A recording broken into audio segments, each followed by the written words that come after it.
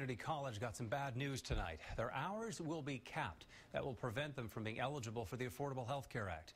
To hold down its insurance coverage costs, ACC revealed the tentative new rules.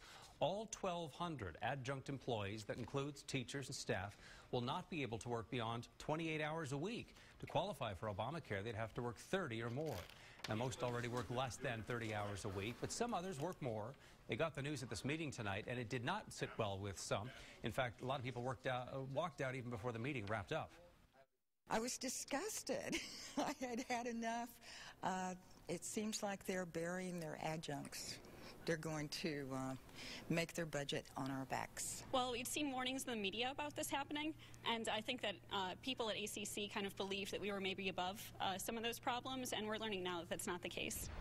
ACC is also capping the work for hourly employees, eliminating them from qualifying for retirement benefits. The school says these new policies are still under review and may be finalized before the end of the year. ACC also says that cap on employee hours will not affect the quality of their education.